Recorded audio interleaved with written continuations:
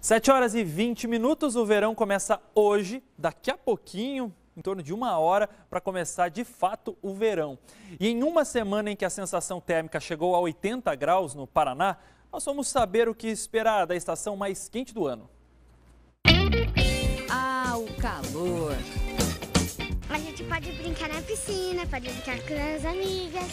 Pela festa, não precisa nem dizer como está a água. Tá boa. Não são só as crianças que aproveitam os dias mais ensolarados aproveitar para tirar o mofo e colocar o bronzeado em dia. Mas há também quem goste de ficar na sombra, né, Michelle? Isso, na sombra é uma delícia, é muito mais fresquinho. Bom, com o calorão que tem feito, nem parece, mas o verão só está começando. E aí, será que é uma amostra do que teremos pela frente?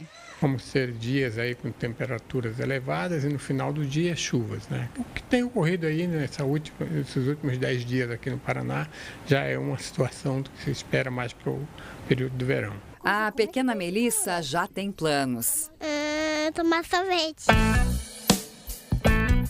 É, cada um tem um jeito de aproveitar a estação mais quente do ano. Sombra, água fresca, vir para baixo das árvores, né? Tudo de bom.